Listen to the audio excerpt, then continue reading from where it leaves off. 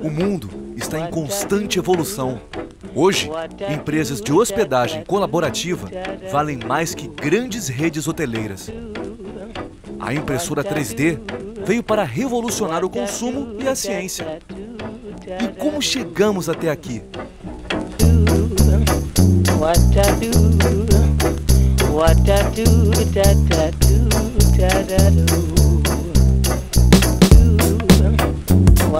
do, what I do, da da do, da da do.